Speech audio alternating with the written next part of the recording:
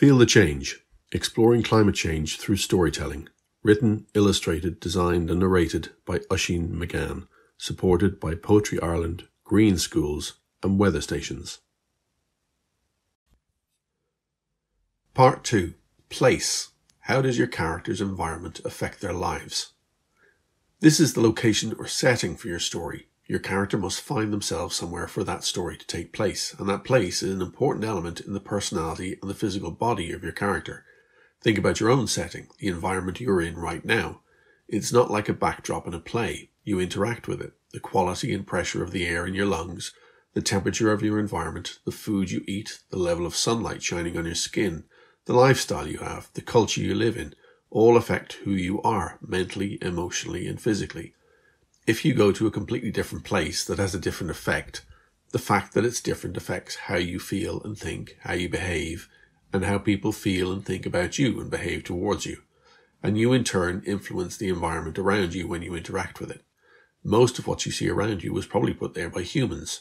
We are constantly changing our environment. The same goes for your characters and their settings. They are always having an influence on each other. About the cartoon.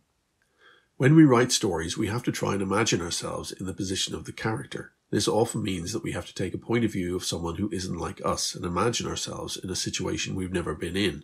Our characters have to get things wrong, make mistakes, do things that are stupid and even mean or cruel, because this is what happens in real life, and it's what drives stories.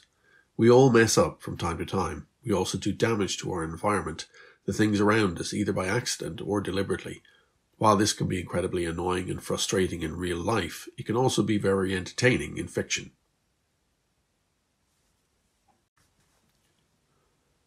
Have a chat. Pick something from the environment in your life that you really rely on and imagine it was taken away. Try and pick something that's not too obvious, like air or food or water, but still something that's important to you. Can you think of things that humans damage on a regular basis? Are there some examples where that damage is necessary? Do you think we're good at judging how much damage we do and when to stop? Think of a situation where that damage isn't necessary but we do it anyway. Can it be stopped? And if so, how? Can you think of a time when someone damaged something of yours and how it made you feel? Was it a big problem for you? Or was it just small but annoying? Is it something you could use in a story? A good technique for describing a character's feelings is to recall something in your life that affected your emotions in the same way and try to apply that to the situation in the story. Sometimes someone will shape their environment in a way that isn't bad for them, but it causes a problem for someone else. A new office building might block the view from your house. A dam could cut off water from someone further down the river. A neighbour might play their music too loud at night. The traffic on a road becomes too dangerous for children to be able to walk to their school. Think of your own examples. What would you change in your everyday environment right now if you had the power to do it? Pick things that humans have made and work together to figure out how they are connected to the natural world.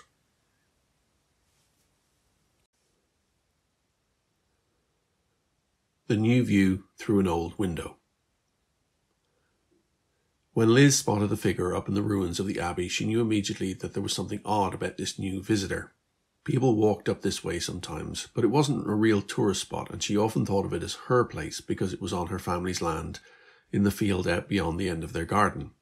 The site was little more than some stone foundations and low walls, though there was still one corner, part of the original chapel, that still stood several metres tall.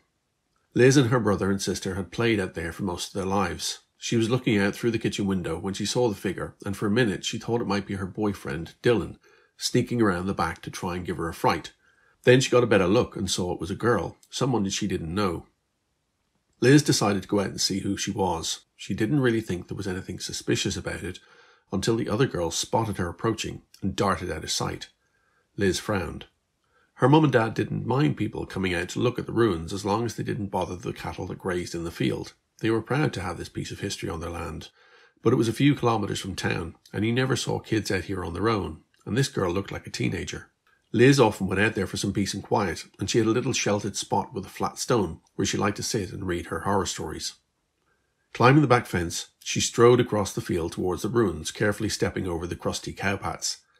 A head peeked out from behind a wall and then quickly pulled back in again. There was something unsettling about this stranger. The girl had the same pale but flushed skin as Liz, and the same long dark blonde hair, which had been blowing across her face. I can see you there, Liz called out. You don't have to hide. We don't mind people looking at the Abbey. Please leave me alone, the other girl shouted back. I'll go soon. Please, please stay back. Okay, thought Liz. Now I want to know what's going on. She kept walking, and the other girl scampered from the wall where she was hiding, further back into the remains of the building. Liz broke into a sprint across the open ground, going around the site, intent on catching the stranger on the other side. She came round the back just in time to see the other girl do an abrupt about turn and head off the other way. Liz was faster and jumped a low wall to follow her. The visitor was racing through the ruins like she knew her way, never missing her footing as she climbed up a wall and through a window. But Liz caught up with her and grabbed her jacket, stopping her short. Hey, you don't have to run. What's going on? Get back. Don't look at me. The girl covered her face. God, please, will you just let go and keep back two meters at least? Get back. Her panic tone unnerved Liz, and she instinctively released the girl and took two steps back. The girl lowered her head so her hair hung over her face pulled a piece of cloth from the pocket of her jeans and looped some strings over her ears. It was a light blue medical mask, the type you saw people wearing in hospitals. She held up her hands and took a breath. I'm sorry, but you can't come near me. Why not? Liz asked. Who are you? Why are you running from me? We don't mind people looking round here. I know. I, I was just looking to be on my own for a while. I, I need to hang around for a bit. Is that all right? Just this area around here. I need you to back out of it and wait outside the walls. What are you talking about? You can't order me around in here. Who are you? You can call me Beth, okay? I- I'm not trying to order you around. I just, I just need you to keep clear of this space in here. You can't be in here, in the floor space of the chapel. Maybe a bit further out too. I don't know. I'm not sure what's going on here, Liz said. The girl sounded a little hysterical, and Liz held her hands out to try and keep her calm. Hey, is it Beth, as in Elizabeth? That's my name too. I mean, my family call me Liz, most people do, but my friends in school actually call me Beth. The other girl, Beth, gave a little hello wave. Why are you wearing that mask? Liz asked her. Why am I? Beth hesitated. Uh, look, this is going to sound like a mad question, but what's the date? Liz regarded the other girl for a moment, arching an eyebrow. Bit out of touch, are we? Just what's the date? It's the 7th of May. What year? Oh, come on. What are you, a time traveller? What year? Beth repeated insistently. 2016. It's the 7th of May, 2016. Ah, oh, nuts, Beth groaned. Look, I'm not moving from this spot until you tell me what's going on. That could be a really bad idea, Liz, for you as well as me. Like, seriously. Liz planted her feet a bit wider and folded her arms. Beth watched her do it and gave a smirk that was visible even with the mask on. Then the strange girl pointed out through the only remaining window frame in the wall of the chapel. Tell me what you see. Liz looked, and then looked again. Framed by the stone rectangle were three huge wind turbines up at the top of the next hill. She knew this landscape in intimate detail. There were no wind turbines anywhere in the area. What? What's going on? In a fit of confused frustration, she went to grab Beth again, and Beth screeched and fought her off. Stay back from me! God, will you just listen? They squared off against each other, fists raised in a karate stance. Exactly the same karate stance. Liz looked curiously at her opponent. She'd obviously had the same kind of training. Beth looked off at the towering structures in the distance for a few moments, shook her head, and then let out a quiet sigh and lowered her guard.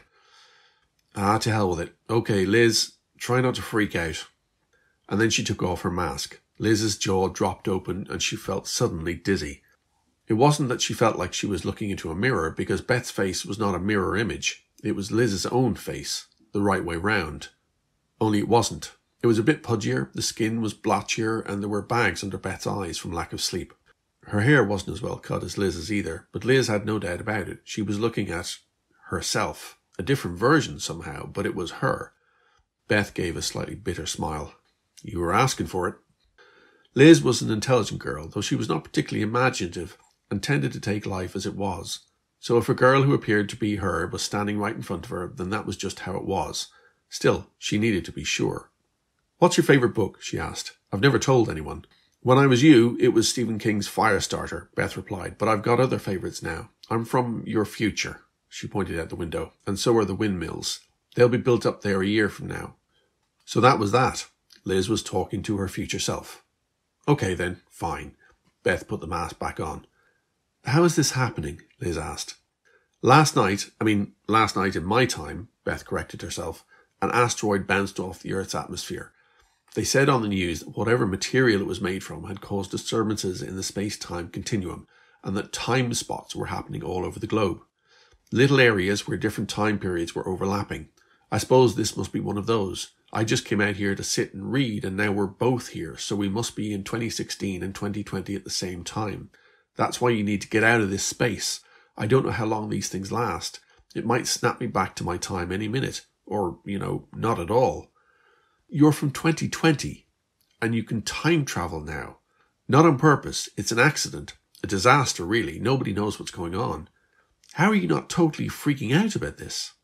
Liz held out her hands to grab Beth's shoulders, but Beth shoved her back. Stop! I told you, you have to keep back. Look, you can't touch me, all right? You have to keep your distance. For a start, I'm not freaking out because I'm all out of freaks. The last few years have been one freak out after another, and now we're in 2020 and I have no freaks left to give. Why? What's going on? Liz asked anxiously. I'm not sure I should tell you anything. I don't know what effect it'll have. You can't say that now, not after what you just told me. And I'm not budging from this spot until you tell me what's happening. All right, but just remember some of this will sound bad, but things are, they're working out okay for you, Beth said. You're, you're not to panic. Yeah, sure, don't panic. That's exactly the thing people say when everything's okay. Beth sighed again and sat down on Liz's, on their favourite stone, and Liz sat down a few metres away. Right, anyway, to start with, there's a pandemic. Beth began. That's why I'm wearing the mask. If I have the disease, I don't want to give it to you, and this helps stop me breathing it all over you. There's a virus called COVID 19 that appears near the end of 2019 and it spreads everywhere, all over the world. Oh my god, Liz gasped. Yeah, totally. Anyway, half of Ireland had to close down for ages to help stop the virus from spreading. We were off school, like totally off school, for six months. No school for six months. That's incredible. That's so cool. Yeah, no, it got to be a real drag, actually, Beth said. You're going to be in fifth year in 2020, remember? Your leaving cert is coming up next year. Try doing all that schoolwork at home on your own. No school friends around you, no crack. We were all chatting on video, but it's not the same. We have to keep our distance from people. You can't hug your friends. Ah, oh, no, I love hugs. I know. You mean not even Dylan? Not even Dylan. And I've hardly seen Granny or Grandad except on a screen because they're the other side of the country. We didn't go on holidays this year because we can't travel. Airports are empty because hardly any planes are flying. Is this real? Liz exclaimed. She couldn't believe it. It all sounded so, so dystopian. I'm only getting started, Beth told her. Loads of shops and restaurants and all the pubs have had to close for months. You can only shop for essential stuff. There are lots of zombie apocalypse jokes because of the warning signs and the doom and gloom in the empty streets. Only a certain number of people can go into a shop and you have to wear one of these masks. When we're in school, we have to wear masks. We have to use sanitizer on our hands all the time. I'm washing or sanitizing my hands like six or seven times a day. It sounds mad. This, this isn't normal. No, it is normal now. This is how it is every day now. They're not taking any chances. Lots of other things have been cancelled too. There's no karate training. We can still do running because it's outside, but there's no big races anymore, so it's hard to stay motivated. No charity runs either. That explains it, Liz said. Explains what? Well, you've kind of sort of let yourself go a bit. You look a bit rough. Hey, git, that's not fair. You don't know how it is, Beth protested. I'm not doing enough training. No, I wasn't saying I'm stressed out to bits. I'm comfort eating to cope because my nerves are shot. You don't know what it's like. I'm actually doing really well considering. Okay, okay, I'm sorry. Oh, and then they cancelled the leaving cert this year, Beth added. Everyone was working their butts off at home for these exams and they just basically estimated what grades everyone was likely to get, and that's how the government decided what college places they got. Only hardly anyone can go into college now. It's all video lectures at home. Even some television and radio shows are being done from the presenters' homes. I don't even know if I'll be doing the exams next year or not. This can't be true, Liz insisted. There's just no way. This is what's normal now, Beth said again. This is what I'm telling you. There's so much that's going to change. I mean, there's Brexit as well. In June of 2016, uh, this year, Britain votes to leave the European Union. What does that mean? It's, uh, ah, don't worry, it's pretty boring and the news will be talking about it for years. They'll explain everything. But it's a big deal for Ireland too. And then there's Donald Trump being president. Trump, the reality show guy, is going to be the American president. Yeah, he gets voted in in 2016. That all gets a bit mad. And then he got voted out again this year after he did everyone's head in. And the weather's going bananas. Climate change is totally a thing now. There's the beast from the east in 2018 when there's freezing weather and heavy snow in Ireland for weeks and everyone goes mad stocking up on bread and all the shops run out. They run out of bread. And there's floods in loads of places and wildfires all over the world, Beth went on. There's really bad bushfires in Australia in 2019. They kill loads and loads of koalas. Oh no, Liz put her hands to her mouth. I love koalas. I know, Beth said. And anyway, then COVID 19 appears at the end of 2019 and the whole world changes in 2020. I mean, the whole world. The life you have now, everything you think is normal, that's going to change. You won't think it can, but it does. None of this sounds real. That's what everybody keeps saying, Beth said in an exhausted voice. It's like a really long, slow disaster film, and we're actually living in it. Now, look, can you just move back out of the chapel? You don't want to get stuck in my time if I get snapped back, do you? But I am going to get stuck in your time, haven't I? Liz sobbed, throwing her arms up helplessly. That's where I'm headed. You're me in 2020. Yeah, but I mean, you don't want to get pulled in there now, Beth gave her a sympathetic look. It'll all change eventually. I didn't really understand it before, but everything changes, and it keeps on changing. I didn't want to lay all this on you, but you wouldn't let go. Now please move back out of here. I think I think if you keep the window in view and go back until you can't see the wind turbines on the hill anymore, that's the best way to be sure. She could see that Liz was upset, and who could blame her after hearing all that? Listen, I know it sounds really bad, but there's good stuff happening too, she said softly. You'll see. Everyone's being a bit nicer lately, a bit kinder to each other. You're talking to the people around you more. You appreciate so many things and so many people that you took for granted. You know what's important. You see things differently. The scientists came up with vaccines for the virus in less than a year, which is pretty incredible, apparently. And Ireland's coming better than a lot of other countries. You know how frustrated you're getting right now, how you keep swearing at the news? Well, you finally feel like you can make a difference. You'll get involved in an environmental group in a couple of years and you'll go on marches and meet a bunch of new friends, some really cool people. You'll be connecting with people all over the world. Seriously, we're making things happen. We had an assembly in the Dáil and everything. We're making politicians sit up and pay attention. They don't know what to do with this. The world's a bit of a mess, but it feels like it's pushing towards something better. Oh, and you learn to bake. You can bake, Liz exclaimed. Oh, yeah, trust me, baking's a whole thing in 2020. You're going to be a total baking queen. That's it, see? Things keep changing, but you change with them. It's like these ruins, Beth gestured around her at the chapel. A long time ago, this was a proper building. People worshipped their God here, and there was a completely different view out of that window, and that was what was not she frowned, holding her hands out to the side suddenly. Hey, did you feel something strange there? What? Liz replied. Yeah, like like a wobble.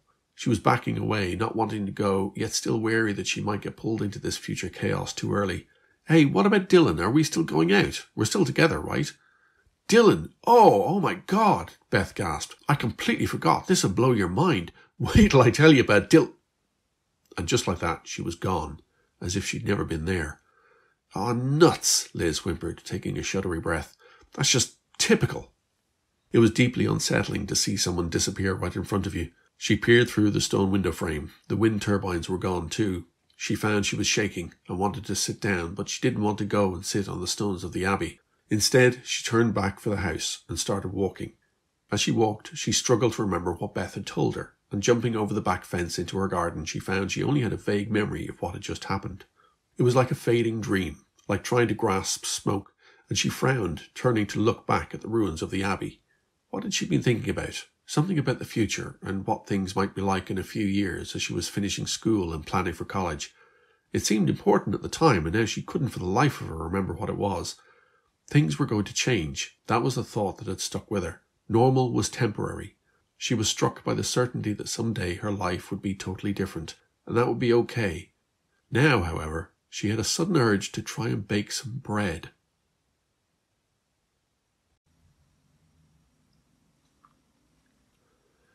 About the story.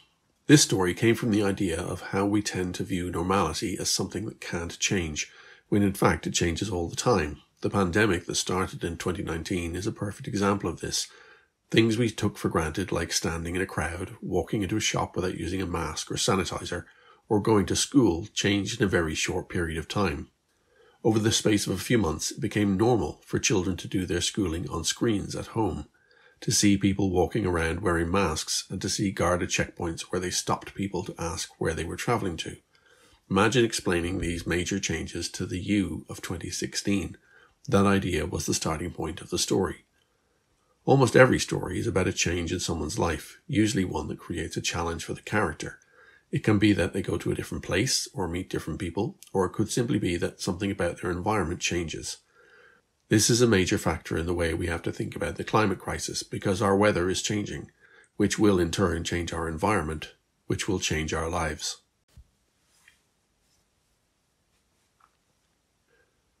Have a chat.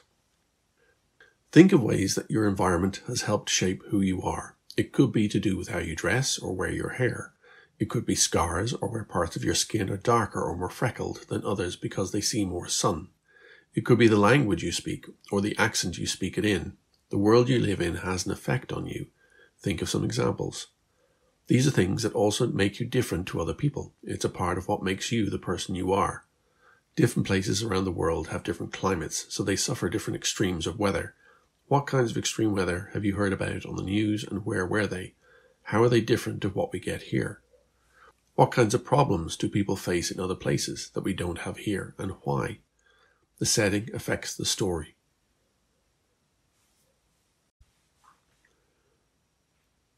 About the cartoon.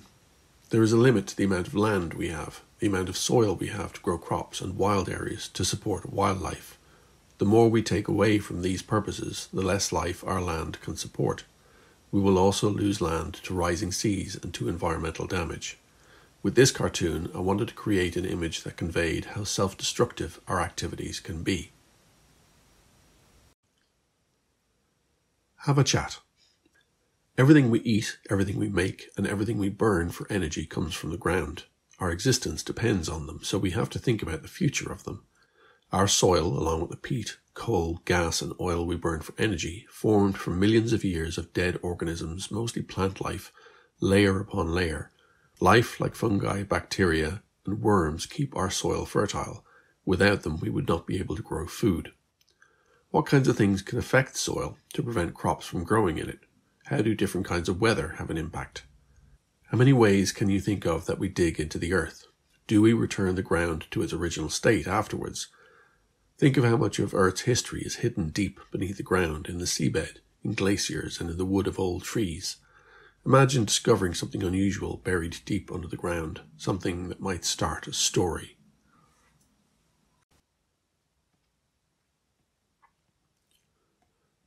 Cremation. I'm not sure when I first noticed that the tree was dead. I wasn't even sure what kind of tree it was a poplar or maybe a birch. Before this, my main concern about it had been that it was close to the garage, which stands separate from the house in the corner of the garden. There were traces of cracks in the concrete around the base of the wall where it looked like the roots might eventually undermine the foundations. Like so many things in life, I didn't pay much attention to that tree until it became a problem. It was in a blind spot in my consciousness, there but unnoticed.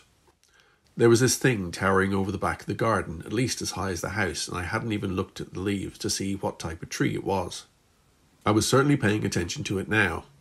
It hadn't reached maturity. The trunk was less than a foot in diameter at the base, and it was about thirty feet tall. A thin, lanky adolescent yet to find its bulky strength, but already high enough to make an unwieldy corpse.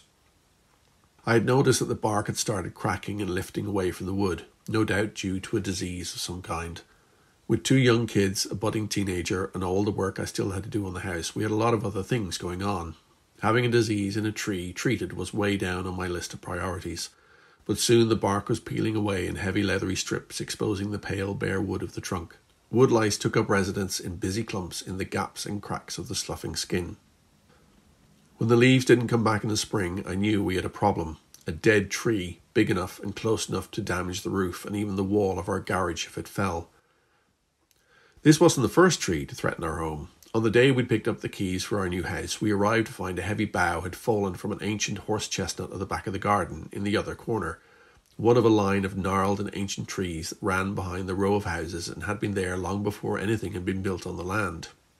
The branch had narrowly missed our neighbour's garage, and could have done thousands of euros worth of damage.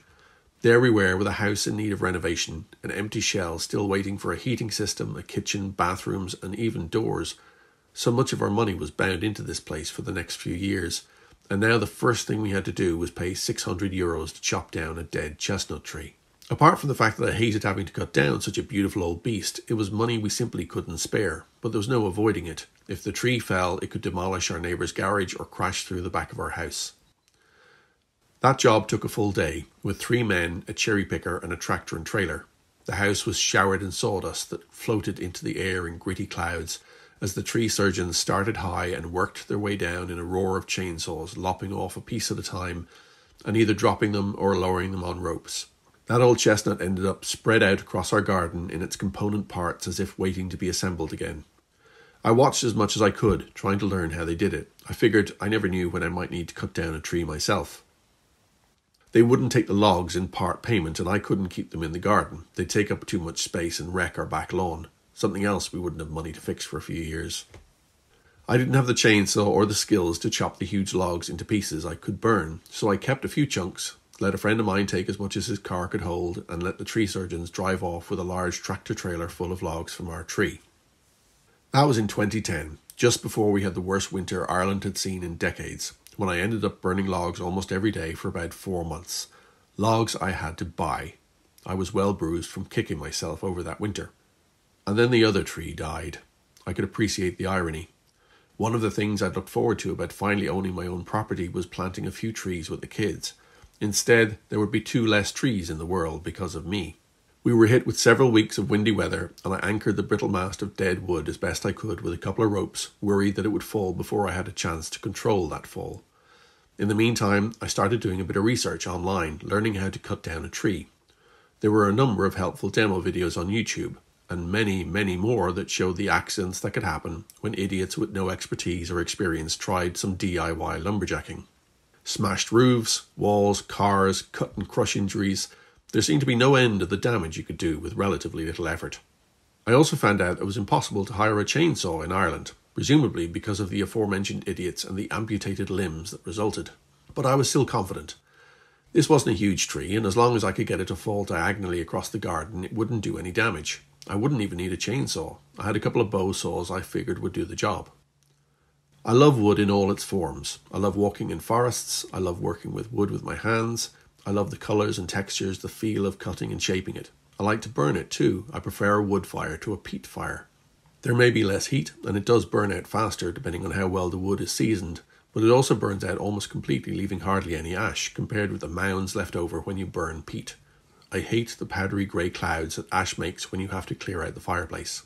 It's better for the environment too. The managed forests replace trees as they're felled, Young trees absorb carbon as they grow and hold onto it, so using wood as fuel is, theoretically, carbon neutral.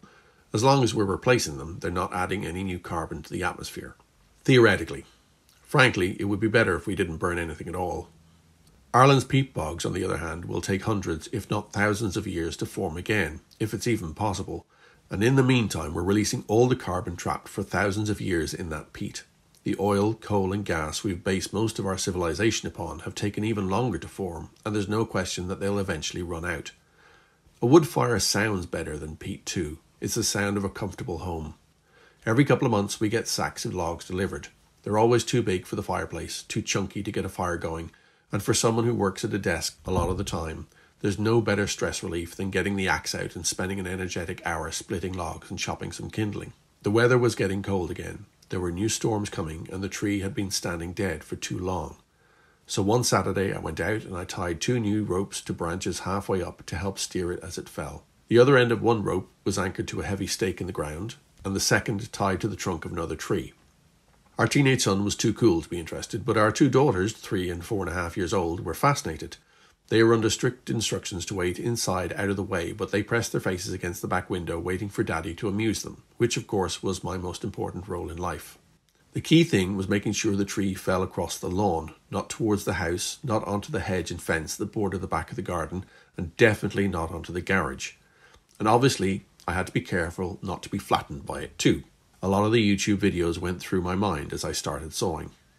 Climbing a step ladder, I cut off a couple of the bigger branches on the garage side, hoping the loss of weight on that side would help persuade it to fall the other way. Then I started on the trunk. I cut two wedges, one on the front and one slightly higher up on the back, leaving it standing on a hinge of wood, just a couple of inches thick, which should, in theory, dictate the direction of the fall. The wood was taut, but lifeless and dry.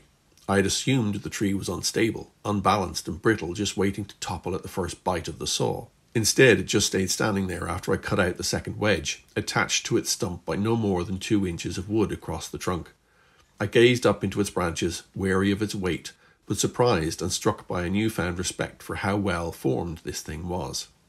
Thirty feet high, with asymmetrical branches, and yet so precisely balanced that it stayed upright on a base little thicker than the edge of my hand. It had taken more than ten years to get to this size, through all manner of weather, and even now the life was gone from it, it was still stronger than I'd given it credit for. Out of the corner of my eye, I could see my two little girls at the window, waiting. Putting a hand against the trunk, I pushed and the tree came toppling down, hitting the marshy lawn with a soft, crunching thump. I couldn't hear my daughters from outside, but my wife later told me she'd never heard the girls laugh so loud. Their daddy pushed a tree down with one hand. I untied the ropes, then set about cutting the tree up into logs and sticks. I left them along the wall of the garage to season for a while, stacking the inner branches into a rack I'd made by the fence, and tossing the bundles of twigs into a pile to be used as kindling. We only light a fire in the evenings, so it might burn for three or four hours before we let it go out. That tree took over 10 years to grow, and we used up all the wood from it in less than three weeks. I thought a lot about that, the whole idea of burning stuff for heat and energy. And that's what we do, despite having other limitless sources of energy at our disposal. We continue to burn in hours something that takes years, centuries, or millennia to form. As a species, we are setting fire to our house to keep warm. We are, ever so slowly, cremating the earth we live on. I love a good fire, but I miss the tree. About the story. This was the story of how I had to cut down a tree in my garden. Having to cut it down made me think a lot about its form, how it had grown, and how I was going to deal with it when this column of dead wood became a threat to our garage. Trees are largely formed from air. Nearly half of the structure of the wood is created out of carbon, which is drawn from the air as carbon dioxide during photosynthesis. The same carbon dioxide we breathe out. When that wood is burned, all that carbon is released back into the atmosphere, turned back into carbon dioxide. Peat, coal, gas, and oil are all older forms of the same thing, living things that died and whose remains were crushed down into the earth over thousands or millions of years. This is why we call them fossil fuels. Millions of years worth of carbon that should not have been released. Now there's too much of that carbon dioxide in the air because of all the fossil fuels we've been burning, and along with other greenhouse gases, that carbon dioxide is acting like a blanket, holding in too much of the sun's heat. The tree had taken years to grow, and we burned all of it in the space of a few weeks, and that was only with the occasional fire. That made a big impression on me. Have a chat. Think of your basic needs, the things you have to have to stay alive and healthy every day. What do you rely on? Pick one thing that you need and describe what would happen if you started running short of it. A shortage of resources can be a small personal problem or a massive global issue. Wars have started over things like water supplies, farmland, or resources like coal, gas, or oil. Our environment supplies our needs, and sometimes there's conflict over who has control over a limited resource.